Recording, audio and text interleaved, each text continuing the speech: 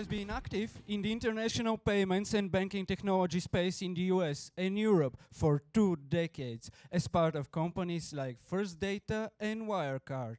Currently, he is a partner at SpeedInvest, an early stage venture fund based in Vienna.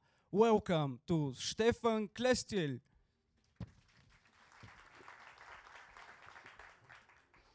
Very well pronounced. Thank you very much. So um, it's amazing how complicated mobile payments are if you think about it. Um, I mean, you did a great job explaining it. So now that we figured out how it works, we actually need to get the customers to use it, right? Um, which is also quite challenging. So very happy to be here. It's my first time to be at the summit. Um, it's been already really interesting chatting with the uh, former Estonian Prime Minister who I think is a real hero. And um, we've just invested into Estonian company. I've become an e-resident of Estonia. They have a CTO of the government. It's pretty amazing what's happening there. So um, really cool. Um, who are we? SpeedInvest. We're an early stage fund, uh, early stage venture fund uh, based out of Vienna. Uh, we do digital uh, across Europe. Um, and um, we haven't done anything in Bulgaria yet. That's probably why I'm here. Um, we've invested in countries like Turkey, um, Slovenia. Um, so that's the closest we get. So we come from the north and south. And hopefully, very soon, we'll do stuff here. Um, I have done a lot of angel investing in fintech, and then together with SpeedInvest, and now as a partner of SpeedInvest, uh, we recently closed um, 60 million uh, in the first round.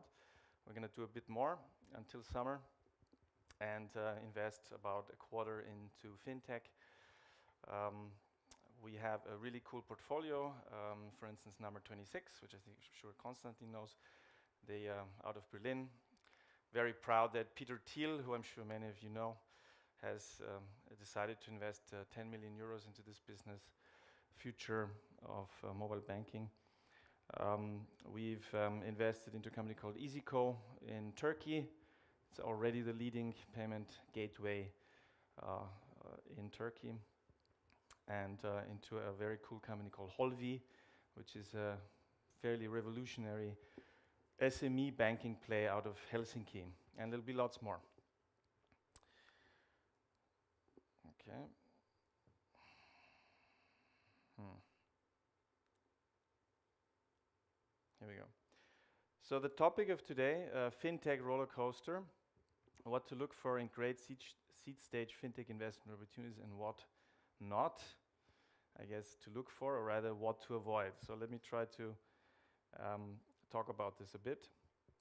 I mean, roller coaster, you know, I've been in Bulgaria already 11 years ago. Um, as a consultant, I was advising uh, Bank Austria at the time, which was not yet UniCredit, to integrate Biochim Banca. I don't know if that logo even exists anymore. So that's a very long time ago. Uh, old school banking, that's where I come from. I've changed sides to work with some really exciting companies now. And it is a roller coaster. So uh, a partner colleague of mine, he, um, he likes to say that um, he is driven by startups during the day and um, he is awake at night because of the startups. Yeah, so it is a roller coaster up and down, and um, um, so let's take a, a, a little bit of a, look, a, closer look at this. You're going to probably think, so this guy's going to tell us where to invest in fintech. I'm actually not going to tell you where to invest because I think nobody needs a lot of investment advice here. I mean, there is disruption going on in every vertical of fintech today uh, be it in trading or current account, uh, cards, payments, um, currencies, of course, cryptocurrencies. Insurance, I think personally, I'm very disappointed about insurance. There's not that much going on. I think there should be a lot more going on. There will be a lot more going on. So I think it doesn't even matter. You just take, pick, take your pick. Um, there is disruption and there's opportunity for startups in all these areas. Why? Uh, it's pretty simple. the existing players, the incumbents, uh, just cannot handle technology in a very fundamental way. Um, apologies to my uh, speaker beforehand. You, you obviously know your technology extremely well. But uh, in the way technology is used nowadays, in the way uh, it is used to very quickly uh, and flexibly ship products in a very fundamental way, typically banks and other financial institutions uh, uh, just don't have the ability for various reasons uh, to do the same. Of course, with exceptions. There's some great stuff happening also with banks, obviously. Customer experience, typically startups are a lot better in figuring out uh, usability, um, cool design, UX, uh, typically a lot better than the incumbents, and that is very important today. And um, finally, and this is the, the, the, the, bit I feel bad for actually with the banks, there's, there's no chance. They're just tied down by regulation. There's more and more regulation being um, thrown at them. Um, and um, of course, legacy, just uh, an enormously large uh, infrastructure that um, needs to be maintained um, and takes a lot of time. I just felt we need another picture here. This is actually a very cool partner colleague of mine, Michael Breidenbrücker. He's founder of Last.fm, which some of the old internet junkies might still remember. Um, and um, uh, I think it's just a great picture of him. So, um, so why have you know, so what's, what's the point? Is fintech any different from other startup verticals? Uh, why is fintech special in this sense?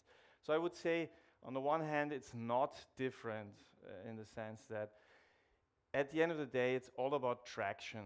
Yeah? So you are a startup, uh, you get your uh, MVP out, uh, you do a pilot, then you go into the market. And at the end of the day, if you don't uh, achieve traction, it's not going to go very far. And this is true not just for B2C, this is very much also true for uh, B2B. And now you could argue, well, what about team? Isn't the great team important? Well, yes, of course. But even if you have the best team uh, and you don't have traction, it becomes very hard. Now, with a great team, you have a chance to pivot the whole thing. You, you know, a great team is able to very quickly try other um, uh, product market fits. And we have seen actually at SpeedInvest this really work. One of our best exits called Shpock, it's like a flea market app, was something completely different. We pivoted it really last minute and, and it worked. It really worked. And this is mainly thanks to uh, a, a, fantastic founder team. Uh, the thing with traction is, I don't, I have not figured this out. Maybe others have you just can't predict traction. It's extremely, I mean, it's impossible, I think. Um, so even with a, what you can point out is if you think it's not a great team. I, I, think that you can see pretty quickly, especially as you go into the due diligence process, you get to know each other. You can see, okay, this is maybe an okay team, but it's not a great team. But with traction, you just don't know. Why is fintech maybe different from other verticals uh, in uh, early stage investing? it's a regulated business. Of course, there's other also regulated verticals, but this is very, very fundamental. If you start a fintech business, um, it is regulated. So what does it mean? You typically have a choice, uh, and it's a difficult choice, to either say, I'm going to partner with a licensed institution, a bank, or an asset manager, or insurance company, or I'm going to try to get the license. Both are actually very difficult. To partner with an incumbent I mean, any one of you who has tried to sign a contract with a bank, a commercial contract, knows what it means. It's just extremely hard. It takes a long time. It goes through many investment committees, etc. Then you have to get the bank to integrate your service, which again can take forever. Um, and so, not necessarily you're much faster than getting the license yourself. Now, getting a license also takes time, um, and it is actually very expensive. So, Holvi is a regulated uh, payment institution, uh, you actually need to keep quite a lot of money uh, on your balance sheet. In any rate, it means longer runway. So if you invest into fintech, I think it automatically means longer runway, more money in the first round, more money in the second round, etc. So I'm sure, I think Ollie Sammer might might agree to that. Yeah. Another cool partner of mine, of course, she's she's female. Uh, women in VC business still very, very rare. We need to change that. Marie-Helene Ametsreiter, fantastic partner of mine. So, what to avoid? What can you avoid? What is important to avoid? Uh, this is very personal, is my view. I have made the experience that it's not a great idea to invest into pure expert teams. You have seen from previous speakers, I mean, payments, just as one of many verticals, right? There's lending, there's insurance, many others, very often uh, requires deep expertise. And so you every once in a while run into a team that comes from those uh, areas. And it is very um, uh, intriguing um, to invest into those teams because they actually know what they're saying, they know the industry. However, my experience was that those people are typically not very good founders. Yeah? I hope I'm not, um, uh, you know, being um, bad with anyone. Uh, and that really good founders can learn any industry and any expertise. It is possible. I've seen, like Valentin Maximilian from number 26, they had no clue about this payments and cards, and they learned just very, very quickly um, within a short period of time. And they are sort of fresh in their head, and they can still challenge uh, whatever is out there.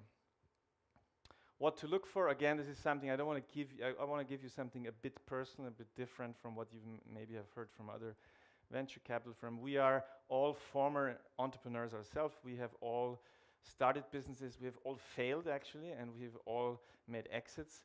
So we are very close to our founders. We don't we don't see ourselves as financial engineering, engineering, um, and just letting the founders do whatever they want. We actually are very close to them. What does it mean? Um, there is typically, I find what works extremely well is if the founder and the investor makes an emotional investment uh, mutually uh, in each other. This sounds very like touchy-feely, but it's actually very real. Um, if you uh, have gone through the first two years of a startup, I mean, everything happens. Uh, all the unexpected things happen. Uh, you might change your business model. You, you might change uh, parts of the team. Um, you might almost run out of money and so forth. There's a lot of ups and downs. So if there is mutual respect and trust between founder and investor, that is so important to survive um, this first year or two. Um, so for me personally, that's how I operate anyway. Uh, a lot of emotional investment and um, um, you know, uh, in good times and bad times uh, also, because um, there also are sometimes bad times, and uh, that doesn't necessarily mean as an investor I'll just drop drop the company. It is always, I think, worth to uh, try very hard, like you would with a friend, to really try to find other solutions as hard as you can. And at the end, it's about the founders. So great fintech founders, that's what it's all about. That's all behind the success. On the left, you see Maximilian Valentin from number 26. On the right, you see uh, uh, Barbaros and Tahsin from iyzico, who actually grew up in Germany. We knew each other. We talked about this. They moved with their families to Turkey, which was not so easy. It took a lot of risk. And you know, three years later, we're now doing a six million dollar round for them, and it's looking really fantastic. So thank you very much, and uh, yeah, looking forward.